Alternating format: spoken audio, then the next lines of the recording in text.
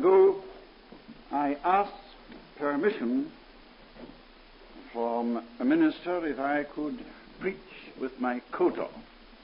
The hall was very, very warm, and I felt it would help me if I could preach with my coat off. But the dear man did not feel that he could grant that. To do so would mean the lowering of the dignity of the pulpit. The lowering of the dignity of the pulpit. I don't think uh, Mr. Rose, Rhodes is greatly concerned about the dignity of the pulpit. And he has given me permission just to preach to you in my shirt sleeves. Now you turn with me to the book of Exodus and to chapter 17, the book of Exodus, chapter 17, and we shall read from verse 5.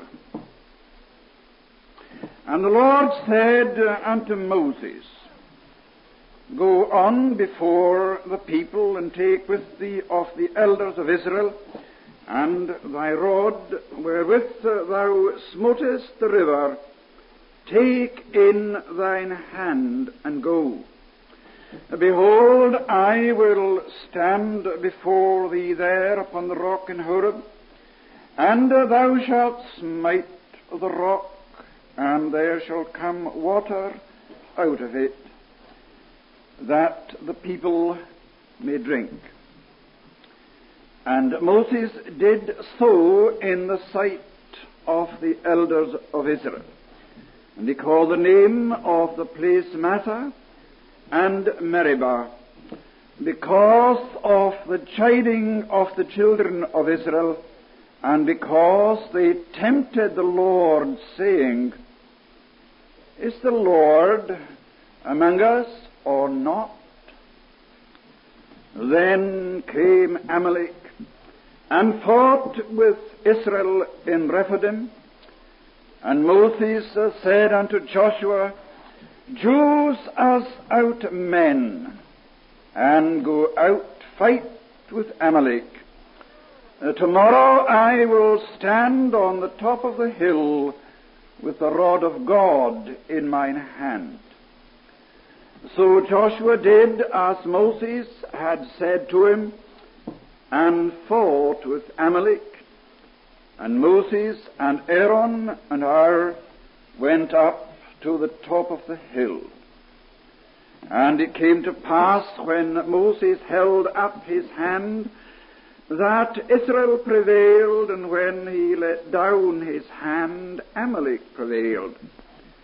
But Moses' hands were heavy, and they took a stone and put it under him, and he sat thereon, and Aaron and Hur stayed up his hands, the one on the one side and the other on the other side, and his hands were steady.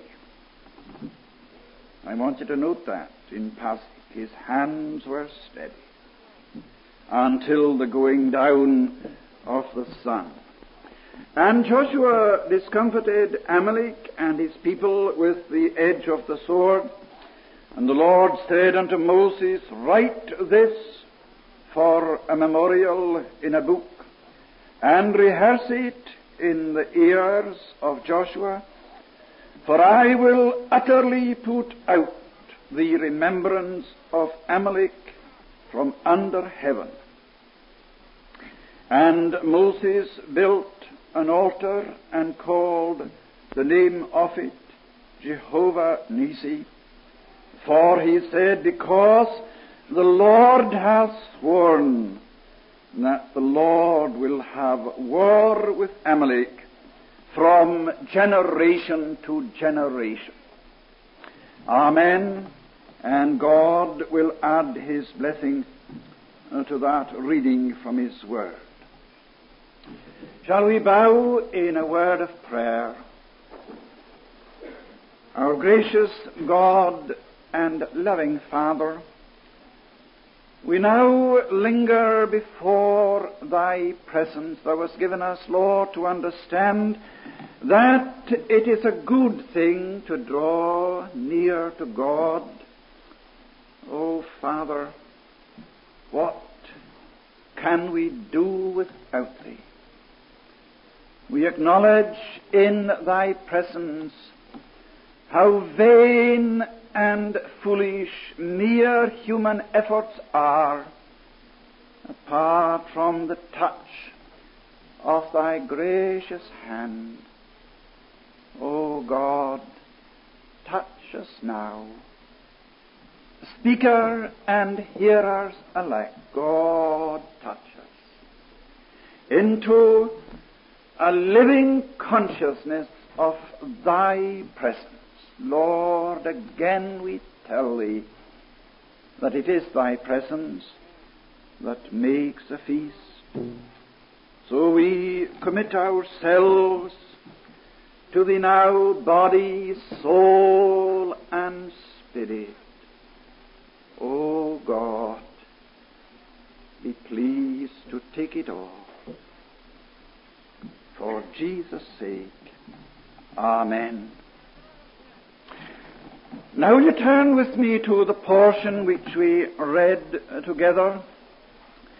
Verse 7.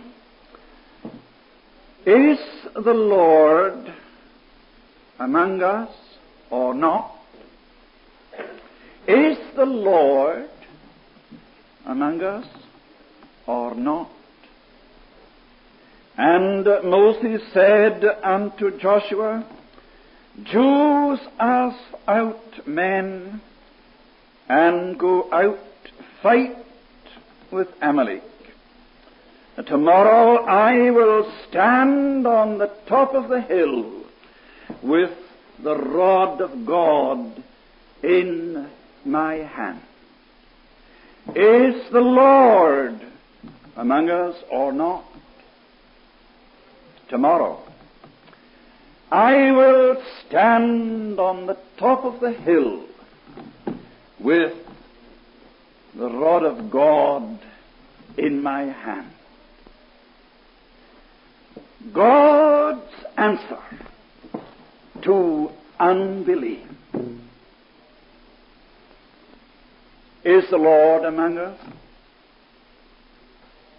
I stand on the top of the hill with the rod of God in my hand. God's answer to the cry of unbelief. Those of you who are familiar with this part of Old Testament story will remember that on the way to the Promised Land, Israel had many encounters with the enemy. And uh, one of these was Amalek.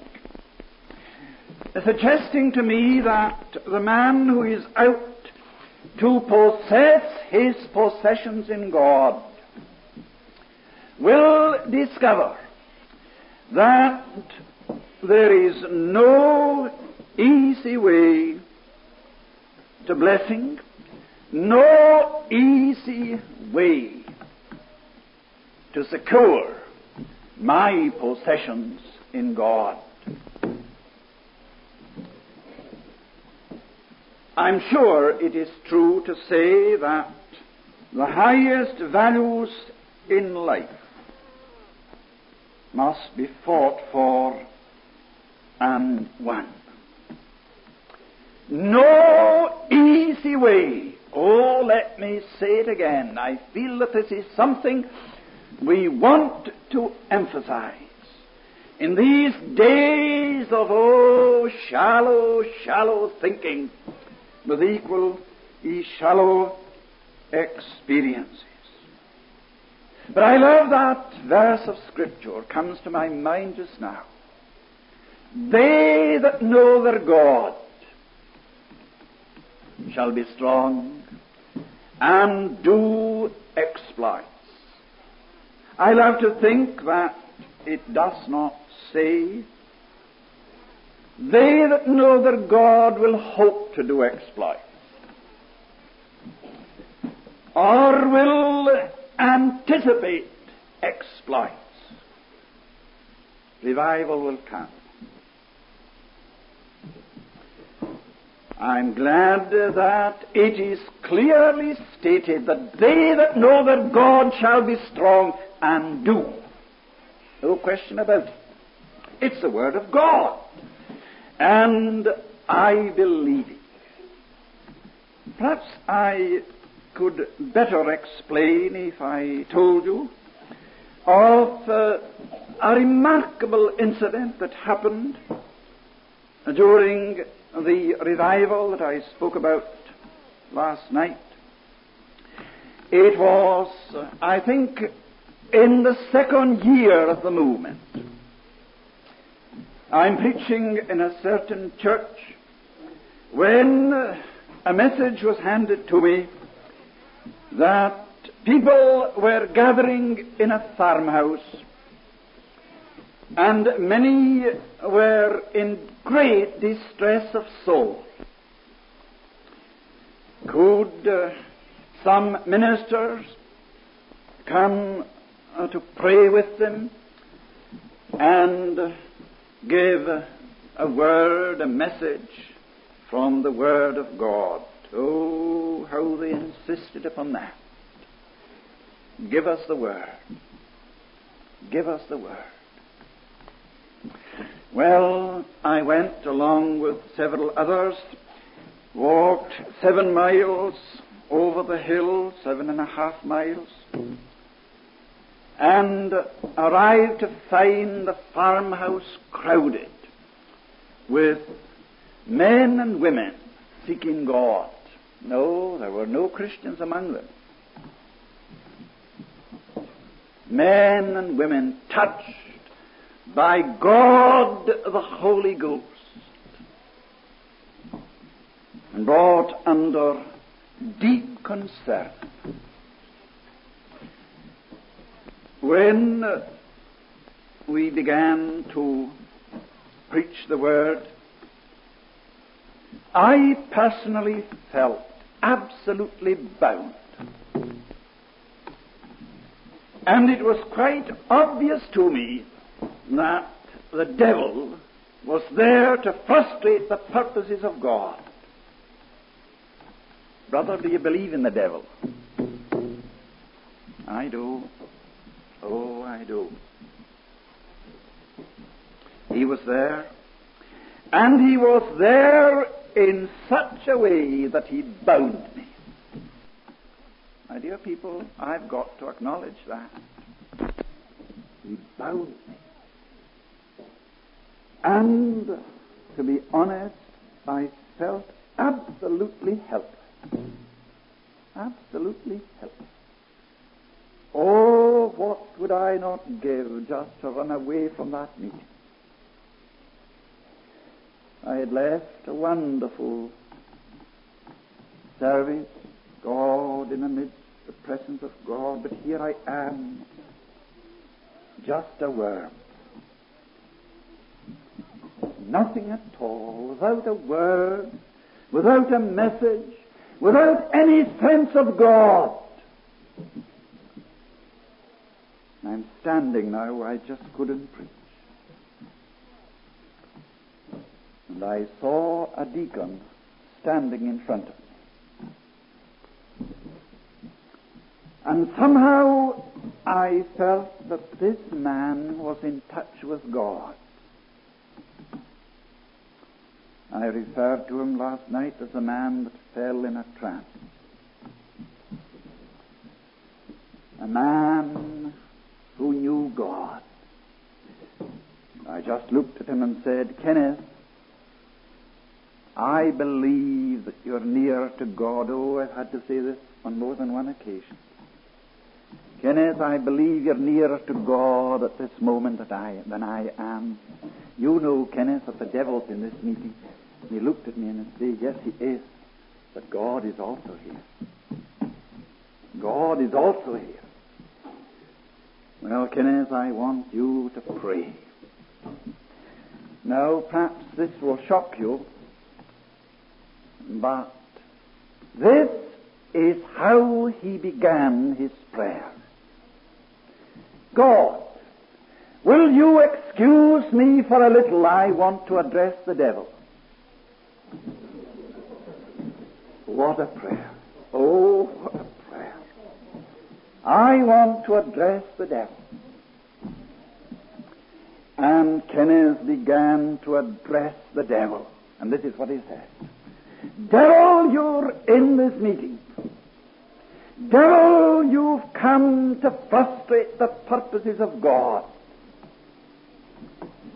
But devil, I now take upon myself on the ground of Christ's victory on Calvary when Jesus was manifest to destroy your work. I now, in His name, take upon myself to bind you. Now, you've heard people talk about binding the devil. My dear people, he saw it happening. Then he went on to say, Devil be gone, devil be gone. And I bind you by the blood of the Lamb. Get out of this meeting. And at that moment, now I see right at that moment, five men who were standing in the kitchen of the farmhouse fell on their knees in the kitchen and were gloriously saved before four o'clock in the morning.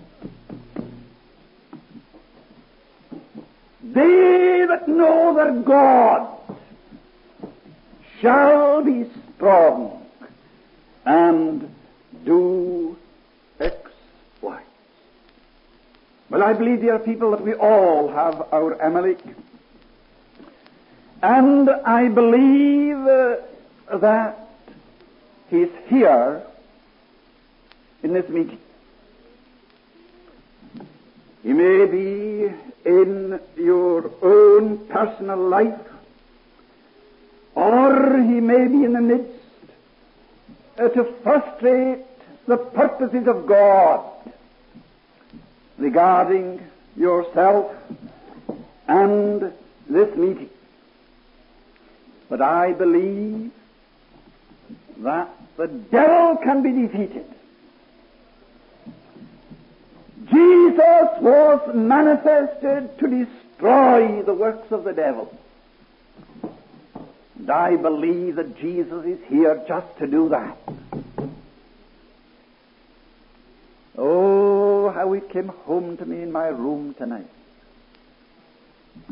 They that know their God shall be strong and do exploit. Oh, my dear people, how I felt. My God, am I there? Am I fit to stand before the people tonight? And I cried for heaven's anointing. For the unction that comes from on high. But I say that one of the main essentials in the strategy of war is to know your enemy. To know your enemy.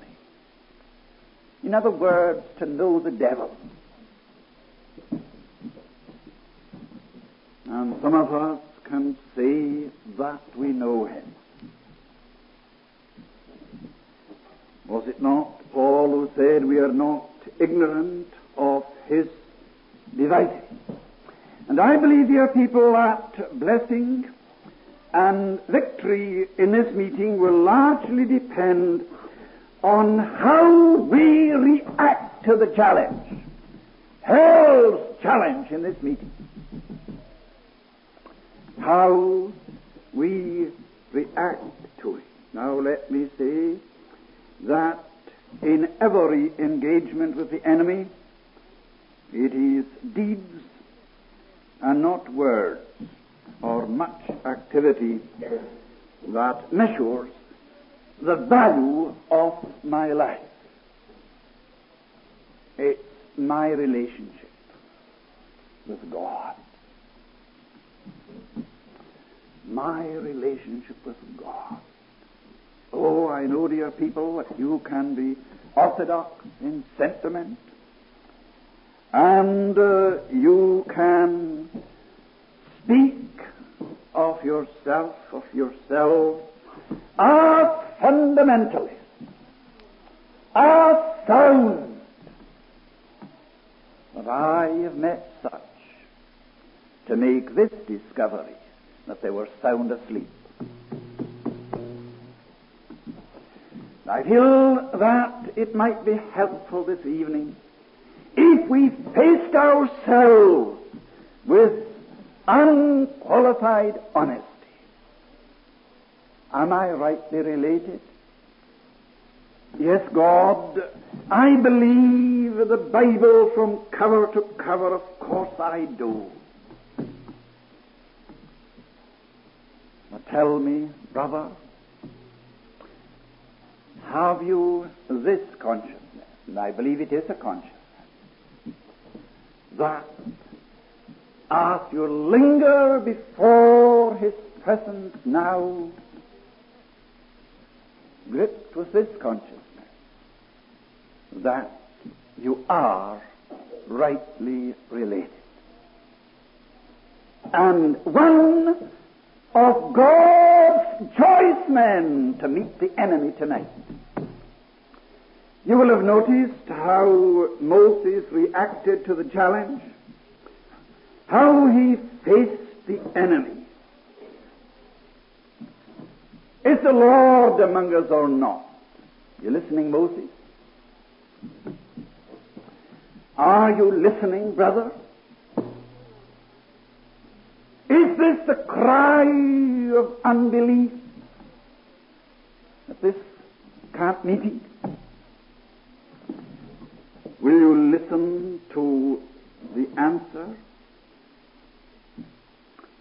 Jews as out men. Uh, tomorrow I will stand on the top of the hill with the rod of God in my hand. But notice that he began with men. Notice that? Joshua, get among the people and Jews out men, suggesting to me that the first requisite for the service of God upon the part of any man is just character. Now that's simple, isn't it? Yes, brother, but it's profound. Character is what you are in the presence of God. Reputation is what you are in the presence of men. But I'm considering this evening what we are in the presence of God. They were to be men of good report. Good report.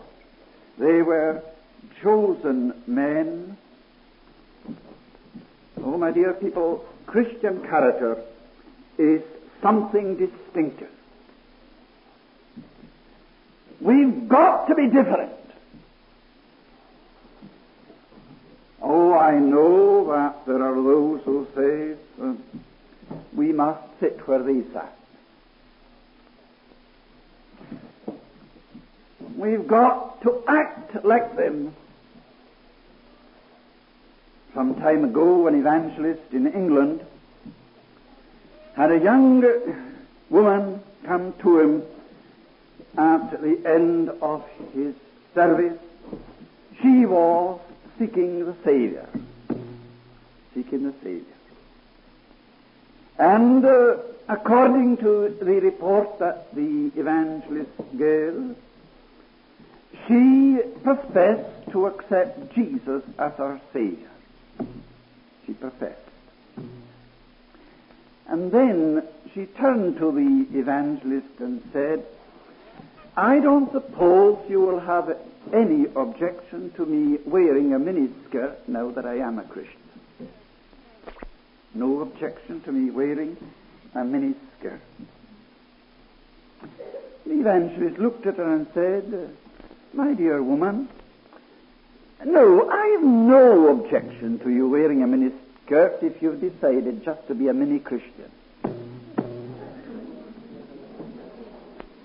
If you've decided to be a mini Christian.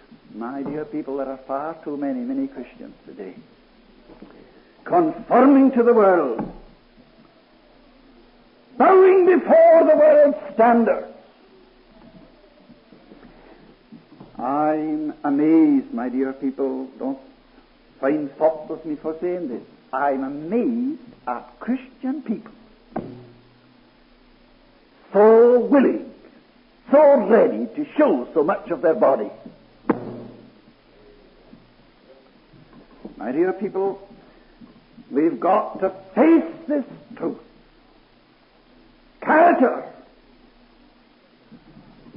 A man different to the world and not bowing before the world's standard. I, of course, believe that the world expects us to live a, higher type of life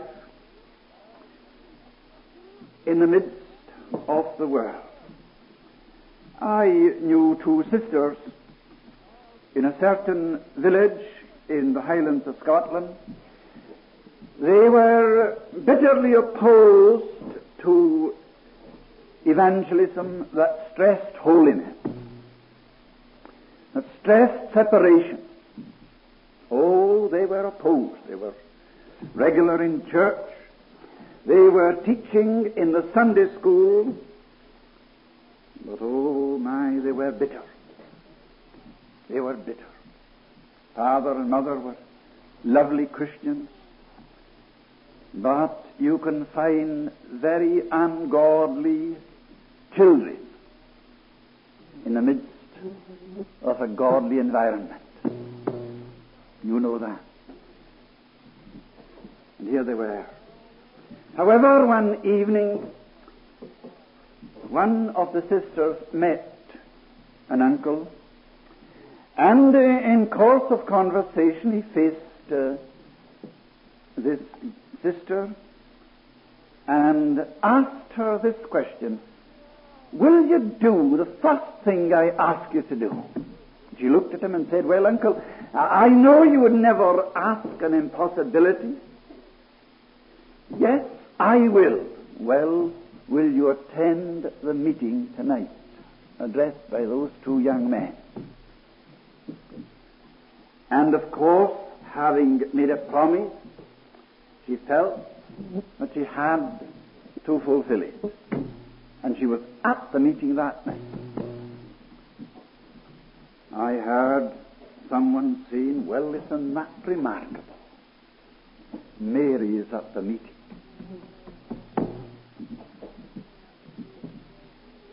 Another brother was preaching that night, and he had as his text, he, being often reproved and hardeneth his heart, shall suddenly be destroyed and that without remedy.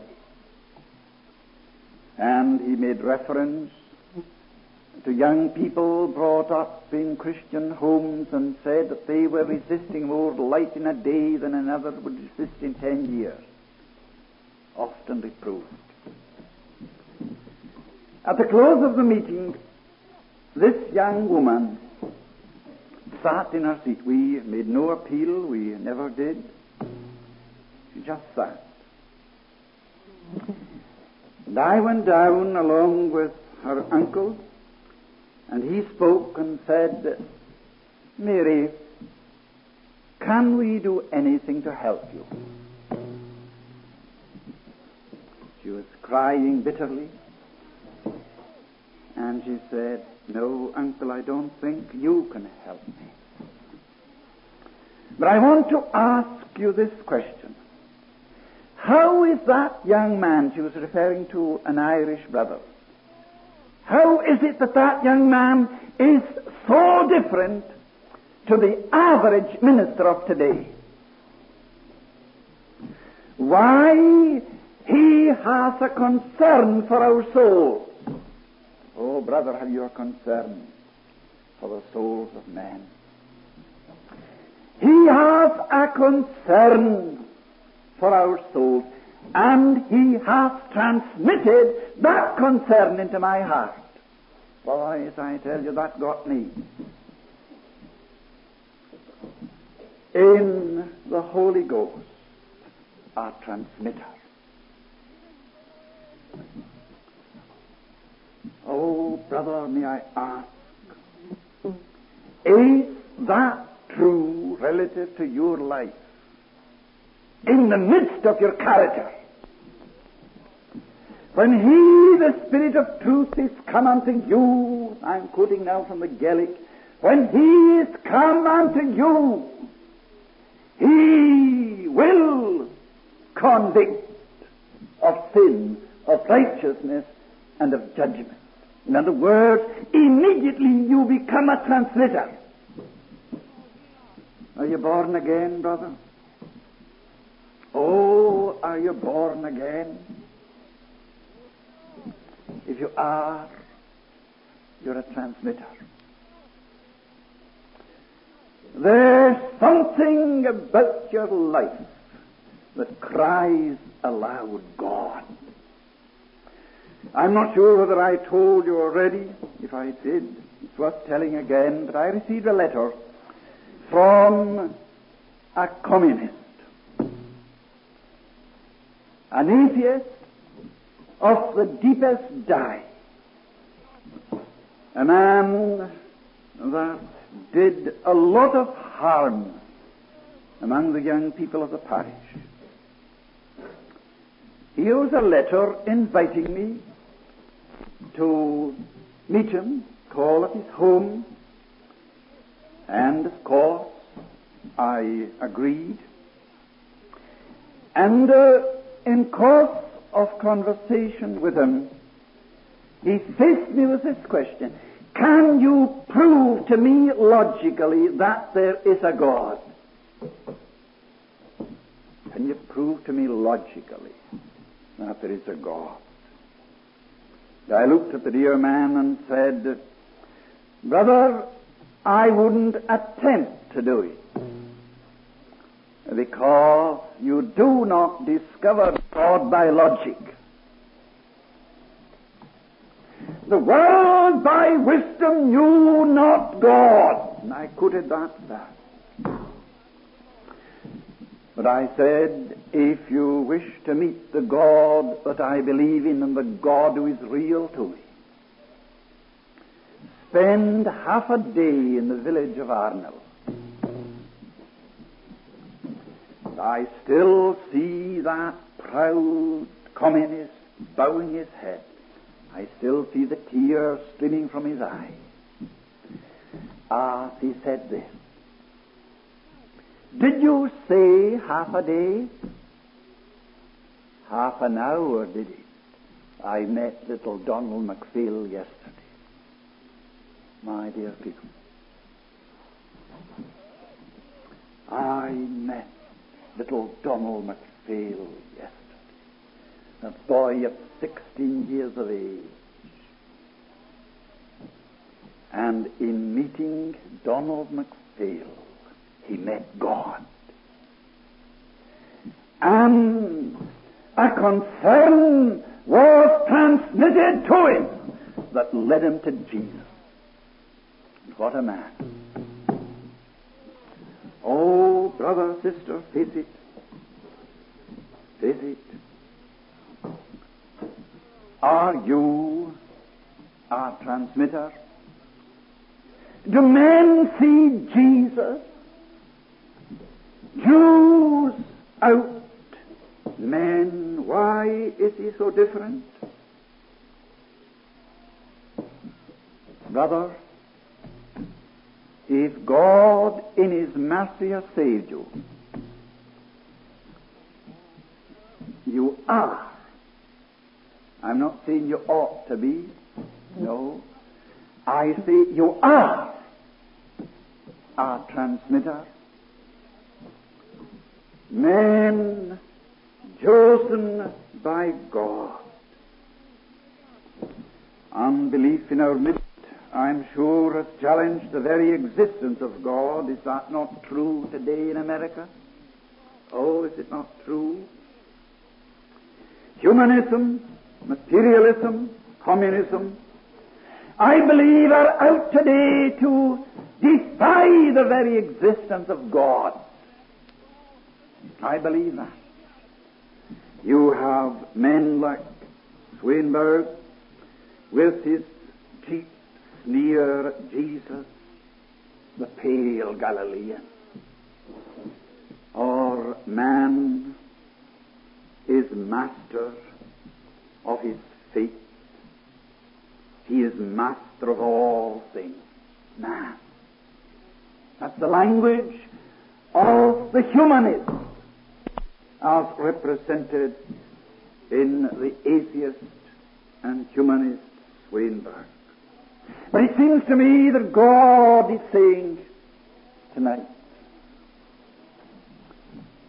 Choose me out men. Oh, give me men of my choice. And I will prove to an incredulous world that my Jesus is no pale Galilean. Oh, bless God. He's the lion of the tribe of Judah. The conquering Savior. My chains fell off when I met him. Oh, my dear people, beware chosen men. Paul could say, I count all things but loss for the excellency of this knowledge, suggesting that only by giving our best could victory be won. And That reminds me of a verse that I read some time ago. Give me men to match my mountains. Give me men to match my plains. Men with eras in their vision, men with empires in their brains. Give me men to pray for nations like Elijah on his knees, who in hour of silence waits to catch the heavenly breeze. Give me men of faith and vision, stripped of every earthly gain, till across our parched valleys dark will roll God's clouds of rain. I believe that God wants such men. Oh, may God find them in this meeting. Men of faith, men of vision. Again, suggesting that only by giving our best, is that not suggested? Joshua, choose them, choose them. I don't want anybody. I want men that I can count on. Men of character, men of honesty, men of stability, and certainly today, men who have pure hearts. In other words, holy men. Oh, let me stress this, dear people. I say, and I say at the risk of repetition, that the crying need of the Christian church today, I care not what denomination you belong to. You may be a Presbyterian, or a Baptist, or a Wesleyan, what have you. I believe that the crying need is for a demonstration of holiness. A demonstration of godliness. They that fear the Lord speak often one with another. And the Lord hearkened and heard in a book of remembrance was written.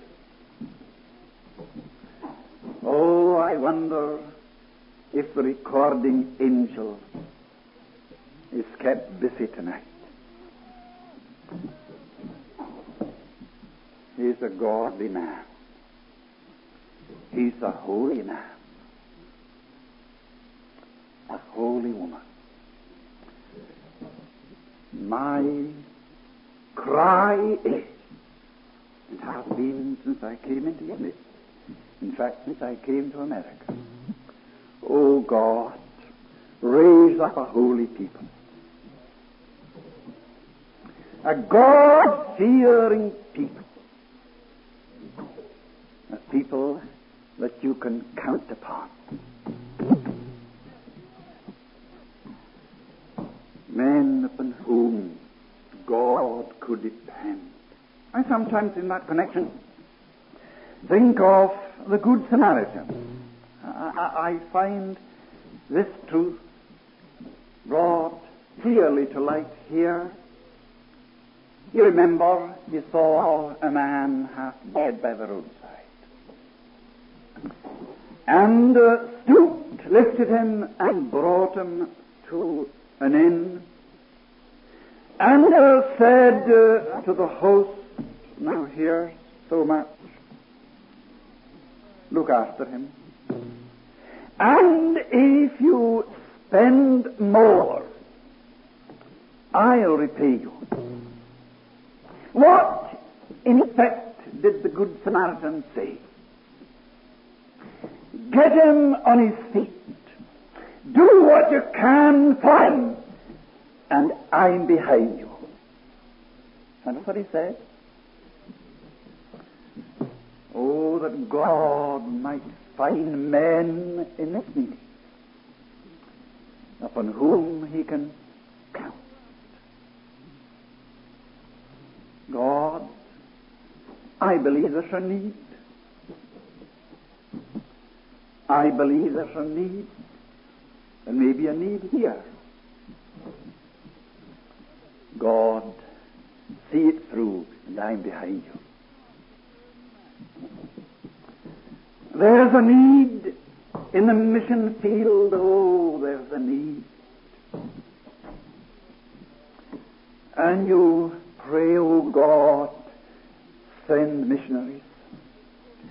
But do you say, God, you do it and I'm behind you? I sometimes use an illustration in this connection. It was during the revival, and uh, the minister in the church made an intimation.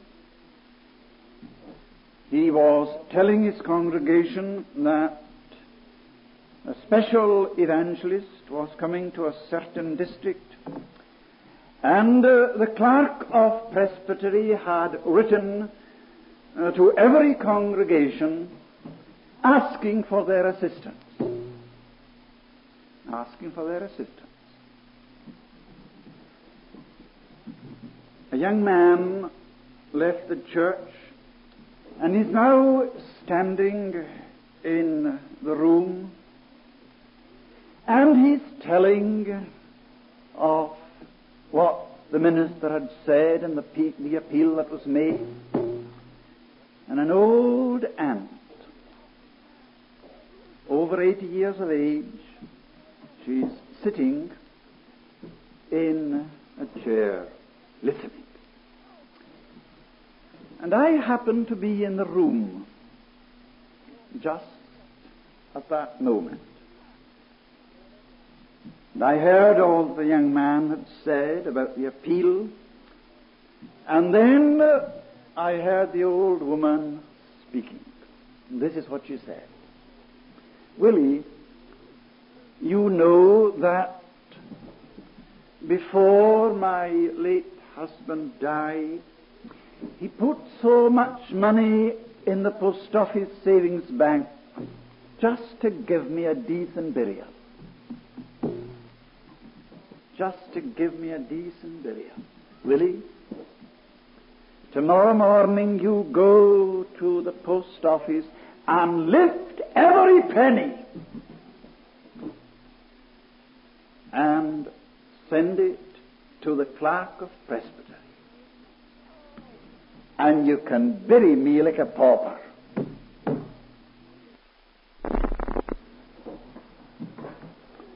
Give every penny and just bury me like a pauper. And I saw in that the spirit of self-sacrifice. In other words, God, you do it, but count upon me, I'm behind you. Jews are out men. Oh, brother, is God coming to us this evening. You dear pastors, there are a number of you here. May I ask, are you there? Oh, are you there? God, God, you can count on me. Can he? Can he? Would you say tonight, oh God, do something in my congregation, do something in my congregation. God, I'm behind you. Can you honestly say that? I'm behind you in the place of prayer. The place of prayer. I am behind you in self-sacrifice. I'm behind you. God is saying tonight, Jesus out man. Jesus out man. I'm sure you believe that every attack of the enemy is against the character of God. Oh, do we vindicate his character? Never forget, my dear people, never forget that God's character before the world is committed to his people. Now, I believe that. Committed to his people. When they fail, in a certain sense, in the eyes of the world, he failed. Is he a Christian? Oh, you've heard it asked. What? Is he a Christian? And acts like that? A Christian ought not to act like that. My dear people, you and I have got to live to the world's conscience. Though we must ever avoid its taste, the world has a conscience. And you and I must stand to vindicate our God. Joseph out man. But you will notice that Moses knew that more was demanded and more was needed. It wasn't sufficient to have men in the field. Jews out men. Tomorrow, oh, I love that verse. Tomorrow I will stand on the top of the hill. But I will stand with the rod of God in my hand.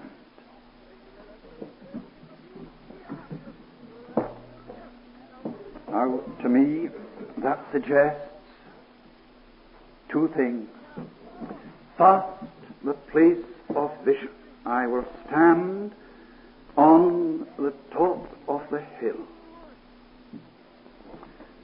Remember that before the great revival in the valley, in the midst of dry bones, it is recorded that the heavens opened and Ezekiel had visions of God. And then we read that the word of the Lord came expressly. In other words, a direct communication from heaven. That I believe created in the soul of this man a consciousness of God. The heavens opened. Yes, they're dead in the valley. There is little use for me going to the valley. I can desire and I can plan and I can do all that is possible for a man to do, but oh God, I need the bread. I need the consciousness of thy presence. And the word of the Lord came expressly. And he tells us that he was caught up. And the miracle happened. Now, I believe that we have a truth here that we do well to take to heart. I went to that dear old woman that I spoke about last night. I went to her and asked her if she could tell me a little of her own experience when God revealed to her that revival was coming. I told you last night about it. That revelation came to her. And she quietly and humbly said, This is just what happened. As I knelt in the presence of God, I found myself enveloped in a consciousness. Enveloped in a consciousness. In a consciousness of God. And that consciousness created within me a strong confidence. Now, have you got that? A consciousness that brought a confidence. In other words, God became so real to her that she could believe that, that God could do anything. That was it. He was the God of revival. But oh, there was a heart there by blood made clean, a godly woman. You remember what he said of Barnabas? It is said uh, that he was full of faith and full of the Holy Ghost. My, these are great words suggesting, of course, that if he was full of faith and full of the Holy Ghost, there was nothing else. Nothing else. He couldn't be full of faith. I believe the Scriptures, dear people. Full of faith. Full of the Holy Ghost.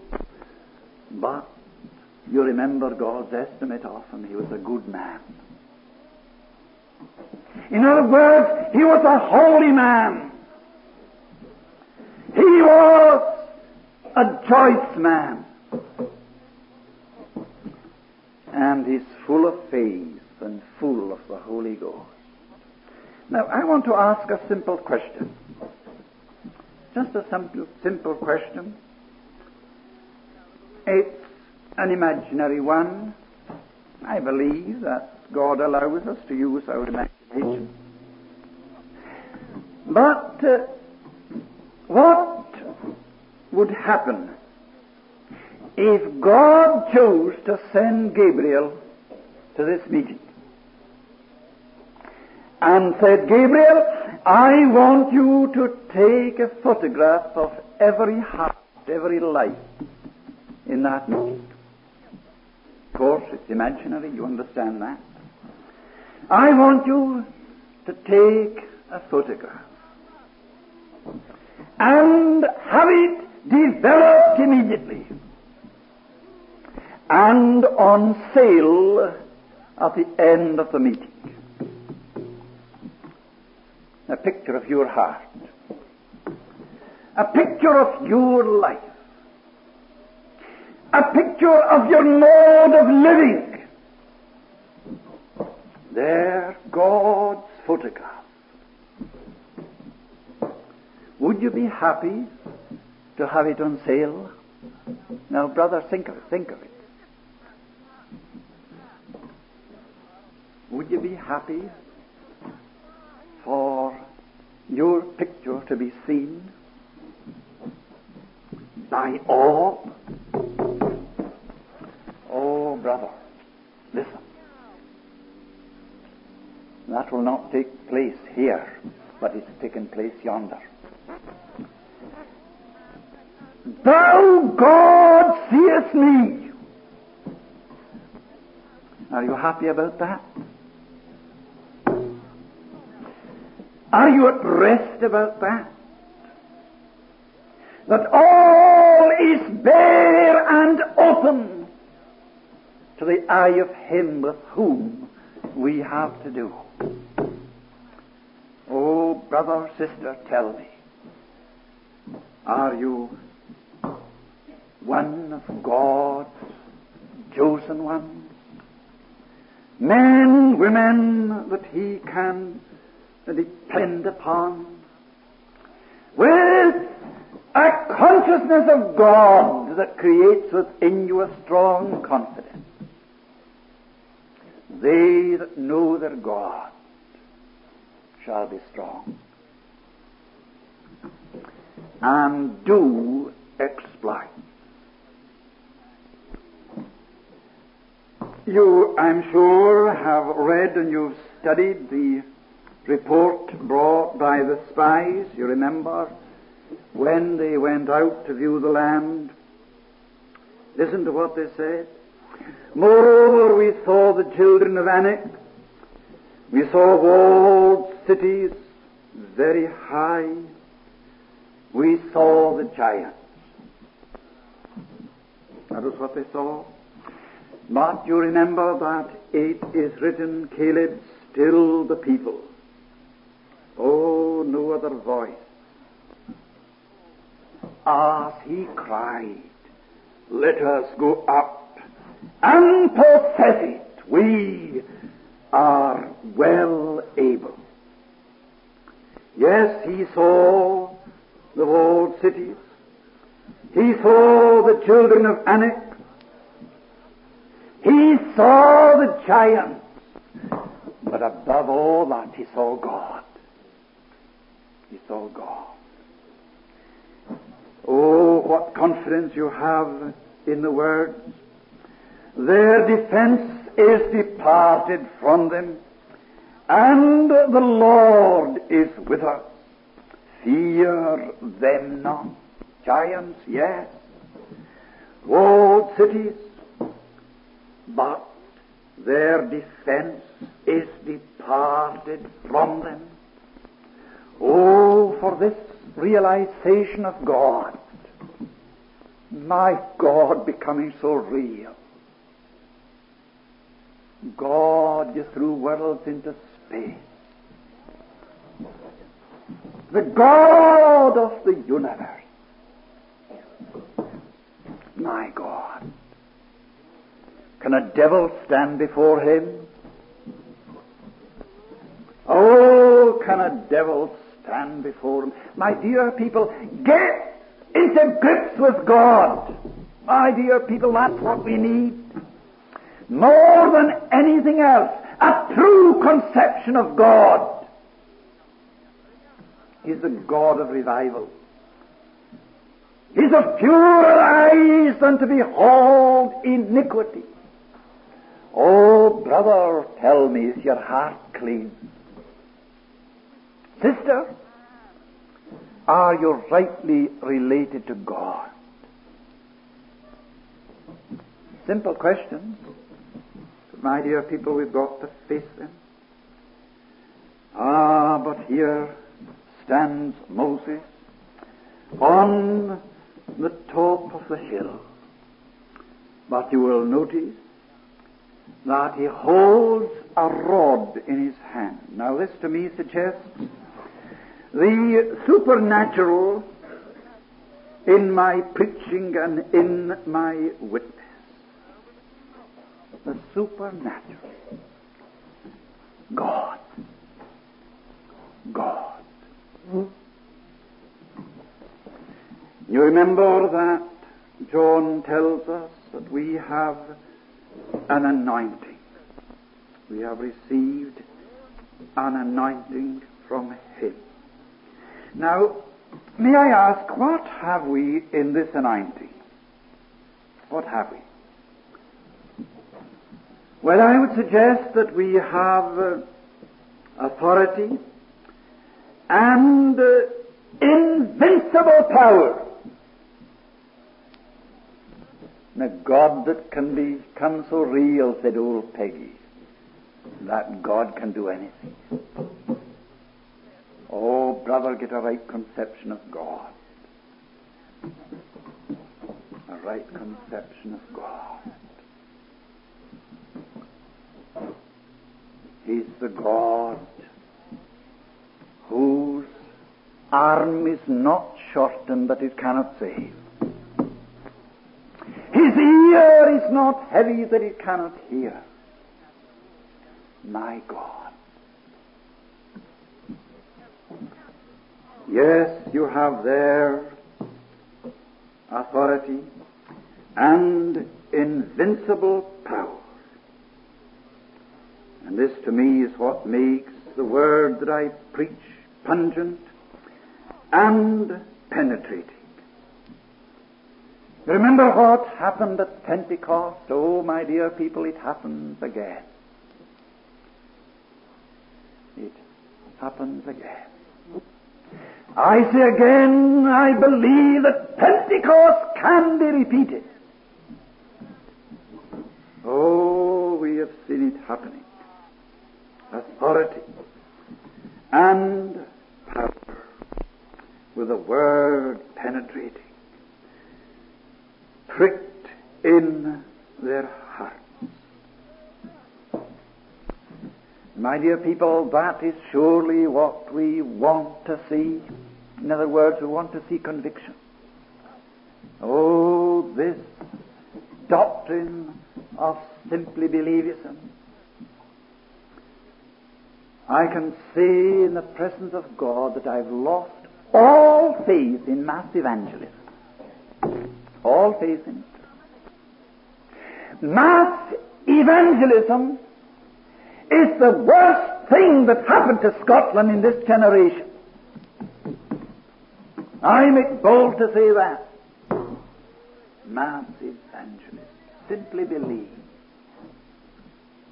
Simply believe. Oh, brother, there's more in it than simply believism. That is why I have practically no faith in what people term deathbed repentance. Very little faith. Oh, I thank God that He is merciful to the eleventh hour. I believe that. But are all seeking Him at the eleventh hour. Let me illustrate this point. I think I must have mentioned more than once that I am an old soldier and had my baptism of fire on Passchendaele Ridge during the First World War. I was then in the infantry before I was transferred into the cavalry. And during the preparation for the final attack on Passchendaele Ridge, oh, we're in the trenches, we're in the front line, and we are waiting for zero hour when seven men came to me and said this to me Campbell, we know that you pray. We know that you pray. And uh, we've just come to ask you to pray for us. And I thought, there's sincerity here. We want you to pray for us. And uh, I began to pray for them. And then I suggested that they pray for themselves. And what prayers? Oh, what prayers. Promising God, there was one young man, and he was saying, God, I'll never neglect the church again. Oh, take me out of this engagement. I'll never neglect the church again. And I would say they were sincere. They appear to me to be. And I would say that they were repenting. That appeared to me. And then, in the midst of our praying, the very light appeared in the sky, suggesting that we had to stand to. And in a matter of minutes, we were over the top and into this fearful engagement. In less minutes, less time than it takes me to tell the story, four of the men were in eternity. They were caught in a machine gun barrage, ushered into eternity in a flash. I say nothing about that. I leave that to God. But we were so fearfully cut up, I refer to the Highland Brigade, we were so fearfully cut up that it was necessary to withdraw us to reserve trenches.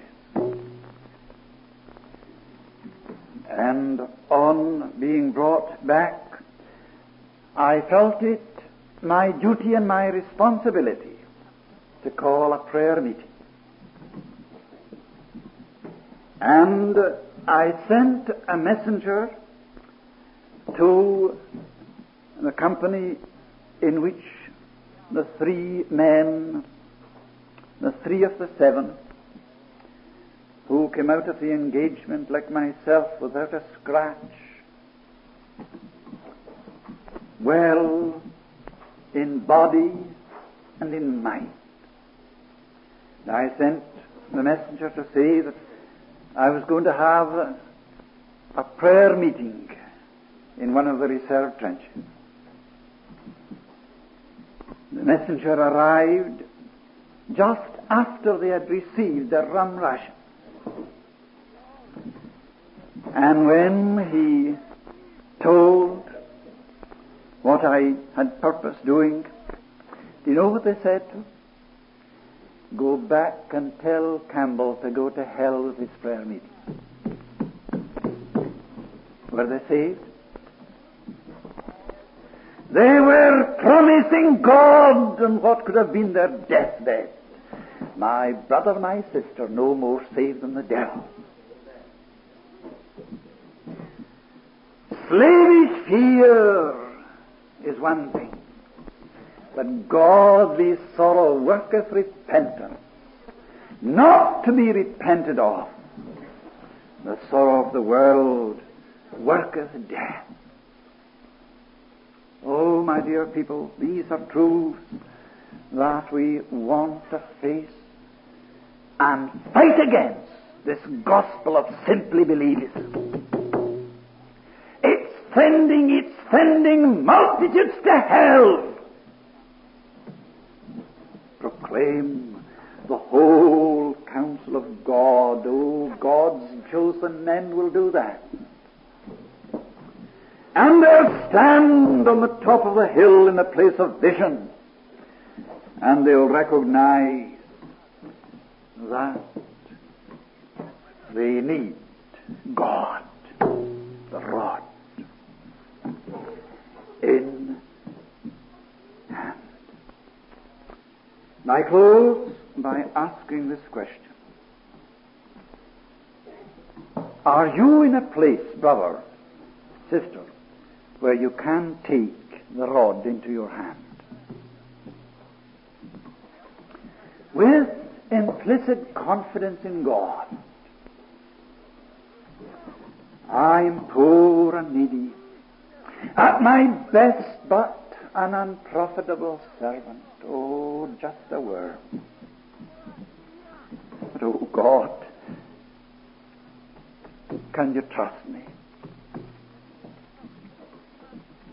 Yes, brother, if your hands are clean,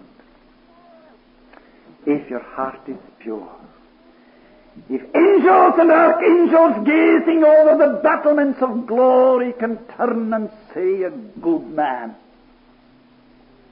full of faith and full of the Holy Ghost. He's not ashamed to show his photograph. There are three things absolutely necessary if you're going to hold the rod. fast. your hands must be clean. Oh, have you got that, brother? Search till thy fiery glance has cast its sacred light through all, and I by grace am brought at last before thy face to fall. Clean hands, heart purity, New Testament holiness. That's it, brother. Oh, tell me, are you clean? In thought, in word, in deed. I am sure that Right when he penned the words.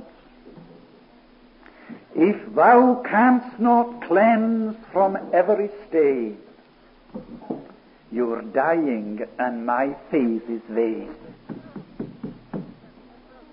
Terrible words, great words. But in keeping with the Word of God, the blood of Jesus Christ, God's Son cleanseth from all sin. My dear people, I've got to believe that. I may not understand it. I may not fully realize it or experience it, but I've got to accept it. Oh, I've got to accept it. If thou canst not cleanse from every stain, thy dying my faith is vain. Oh, brother, have you been to the blood? The blood of Jesus cleanses and cleanses from all sin. Full of faith, full of the Holy Ghost because it's cleansed. But there's another thought here. If I'm going to hold the rod in my hand, if I'm now in the place of vision, anxious to know heaven's anointing upon my ministry, my hands must be empty.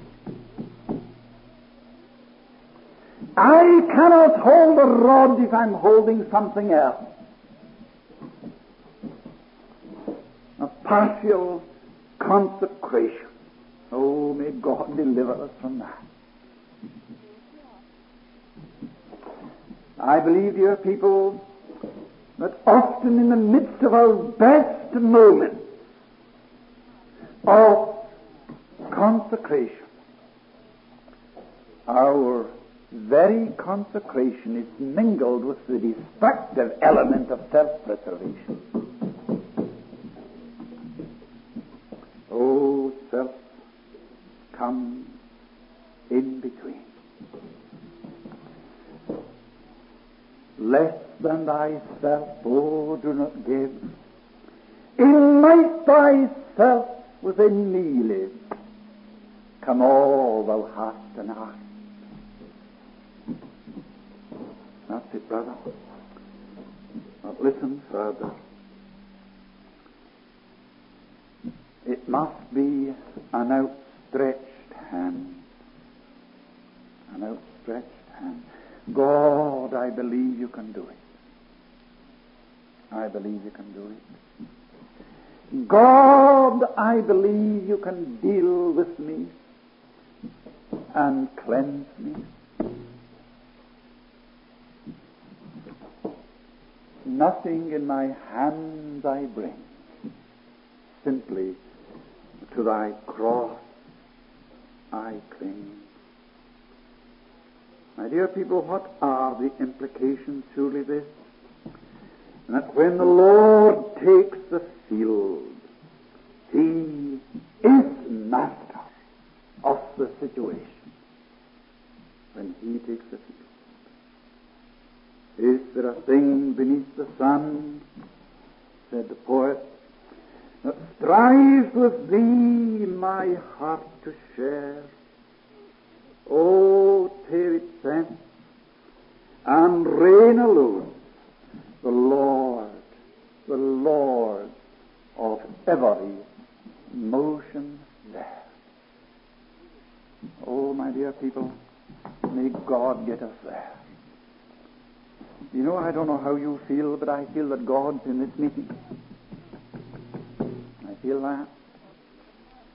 I feel that God is in this meeting. Oh, brother or sister, don't hinder him by disobedience. Don't grieve him by saying no.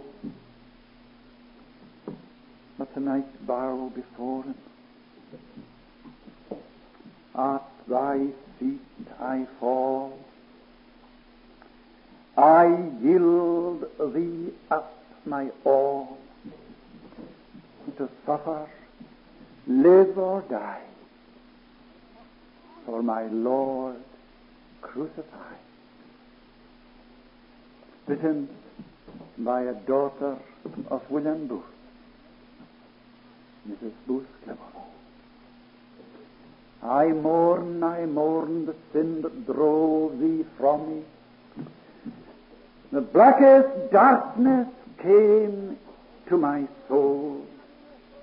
Now I renounce the cursed thing that hinders and turn once more to thee to be made fully whole. Oh, brother, sister, get on your face before God tonight. That's my only appeal. My only appeal.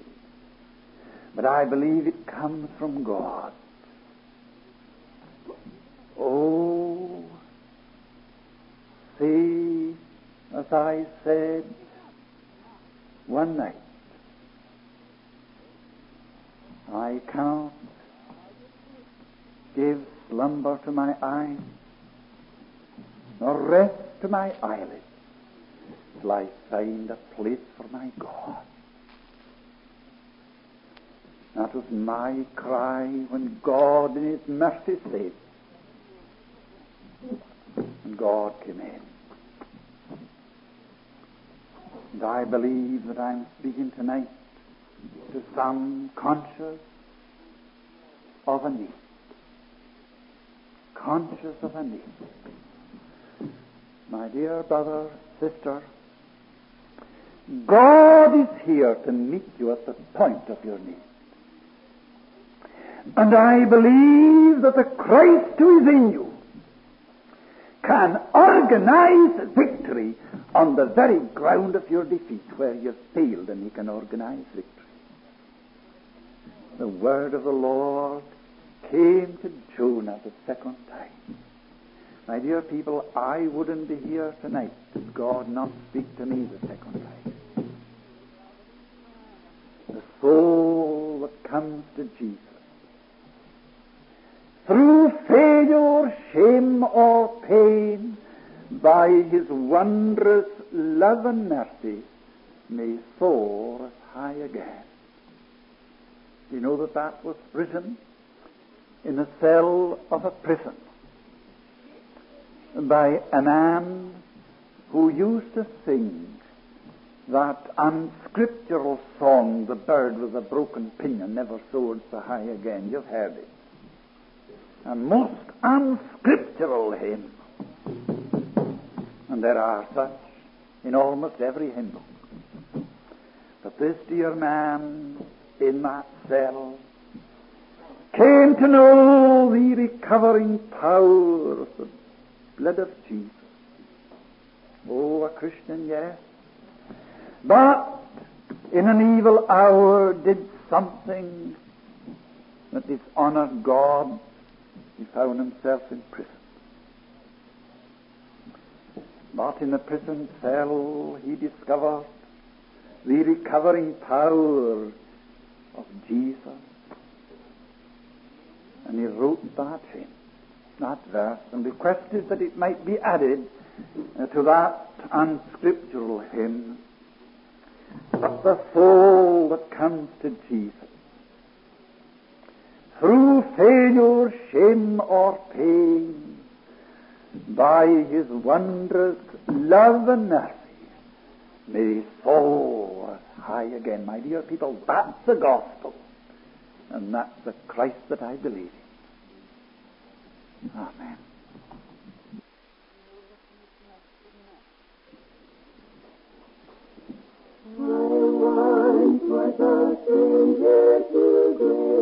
and to God. I knew not my danger, I felt not my need.